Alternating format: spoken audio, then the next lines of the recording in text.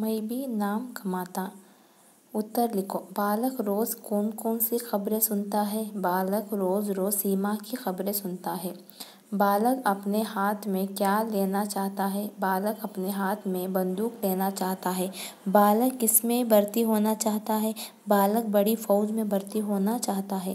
माँ कब खुश होती है? माँ सब, तब खुश होती है कि अपना बेटा राष्ट्रपति से पुरस्कार प्राप्त करता है। बालक कैसे बड़ा होना चाहिए? बालक झटपट से बड़ा होना चाहिए। दो तीन वाक्यों में उत्तर लिखो। बालक का मन में क्या महसूस कर रह जाता है? बालक रोज सीमा की खबरें सुनता है। वह भी फौज में भर्ती हो भर्ती होकर बंदूक हाथ में लिए शत्रुओं से लड़ना चाहता है, राष्ट्रपति से पुरस्कार पाना चाहता है। किंतु वो अभी छोटा बच्चा होने के कारण वो महसूस कर, रह जाता है।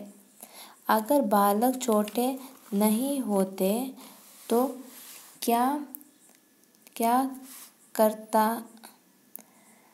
अगर बालक अगर बालक छोटा नहीं होता तो हाथ में बंदूक लेकर देश सीमा पर खड़ा हो जाता। शत्रु से देश की रक्षा करने के कारण नाम कमाता है।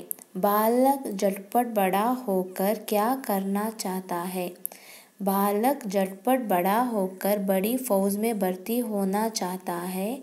देश की सीमा पर खड़े होकर शत्रुओं से देश की रक्षा करना नाम कमाना है और राष्ट्रपति जी से पुरस्कार प्राप्त करता, इससे माँ को खुश देखा पाता।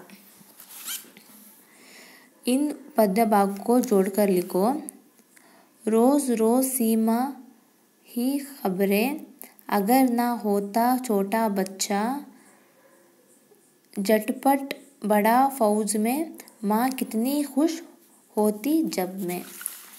इन शब्दों के लिए अन्य वचन लिखो, खबर खबरें, लड़का लड़के, हाथ हाथे, पुरस्कार पुरस्कारें। इन शब्दों के लिए विलोम शब्द लिखो, बड़ा, छोटा, एक, अनेक, सुख, दुख, माना पाना होना।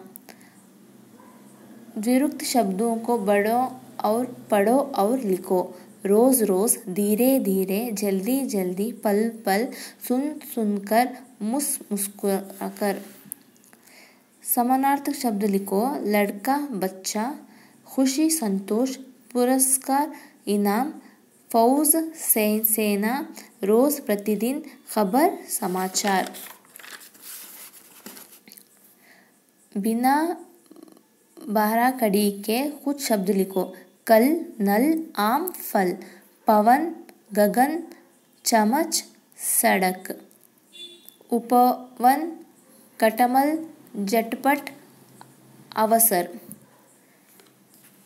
यह तिरंग झंडा है, इसमें तीन रंग है। सबसे ऊपर केसरिया रंग है, बीच में सफ़ेद रंग है।